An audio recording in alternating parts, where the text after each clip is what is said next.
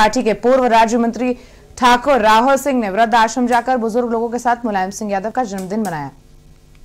आपको बता दें कि देश भर में मुलायम सिंह यादव का जन्मदिन अलग अलग तरीके से मनाया गया। वहीं हमारे संवाददाता ने पूर्व राज्य मंत्री ठाकुर राहुल सिंह से खास बातचीत की, जिसमें उन्होंने बताया कि आगामी चुनाव में अगर कोई बड़ी ज़िम्मेदारी मिलती है तो उससे बाखूबी निभाएँगे और नेताजी के रास्तों पर चलेंगे।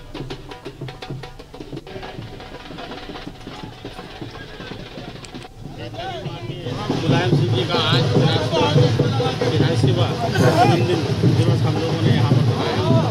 और सभी समाजवादी पार्टी के कार्यकर्ताओं नेताओं ने बहुत बहुत ही हँसी और उल्लास के साथ जन्मदिन मनाने का काम कर रहे हैं। और मेरे दिल से ऐसी दुआ है कि अल्लाह ताला उनका साया हमारे सिर पर अभी रखे और सदियों सदा तक वो हमेशा हमारे सर पर उनका साया बनाए रखे।